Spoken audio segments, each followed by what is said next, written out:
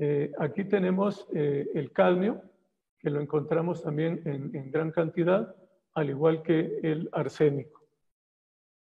¿Qué es lo importante? Nosotros para calcular eh, cuánto era lo que los niños estaban consumiendo de, estos metales y ver si era, les podía ocasionar un daño, un daño o, o es un riesgo, se hicieron encuestas en toda la zona de estudio que fueron las cuatro zonas que mencioné anteriormente, y eh, al, al sacar a evaluar la encuesta, obtuvimos eh, un consumo de 547 mililitros eh, de, de, leche consumida al día.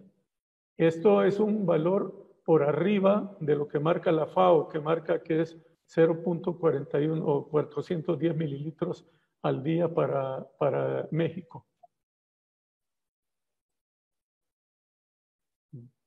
Bueno, y aquí encontramos eh, tres cosas interesantes. Una es el cociente de peligro.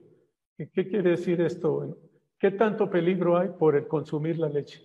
Nos está marcando que es arriba de uno, sabemos que es un eh, cociente de peligro eh, superior a uno, es importante. Y tenemos que el índice de peligro, cuando el índice de peligro significa la sumatoria del índice eh, o del cociente de peligro de cada uno de los metales. Aquí lo vemos por metal. Tenemos que el arsénico fue el metal que, representó mayor peligro.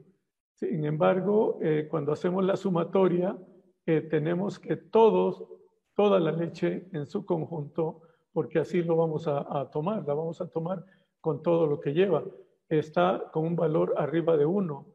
Eso significa que estos niños o estas personas que consumen leche de estas regiones eh, tienen eh, un grado alto de peligrosidad de padecer enfermedades no cancerígenas.